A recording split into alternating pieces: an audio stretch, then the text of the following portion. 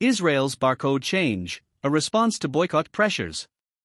In a move that has caught the attention of global consumers, Israel has reportedly changed its product barcode prefix from 729 to 871. The barcode change is seen by many as a response to the ongoing international boycott against Israeli products, particularly in support of the boycott, divestment, and sanctions BDS movement. The BDS movement, which aims to exert economic and political pressure on Israel in relation to its policies towards Palestine, has gained traction in recent years. Critics argue that the barcode change is a strategic measure to counteract the impact of the boycott, making it harder for consumers to identify products originating from Israel. While the barcode modification has sparked discussions about the effectiveness of economic boycotts, it also underscores the complex and interconnected nature of global commerce and political activism.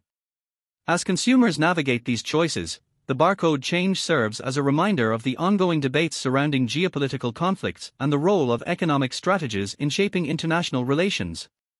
Your dedication to the cause is truly admirable. Let's persist in our efforts, urging others to join, until the war ends in Palestine. Continue the impactful boycott against Israel and companies aiding its cause. Together, we amplify the call for lasting peace and justice in the region.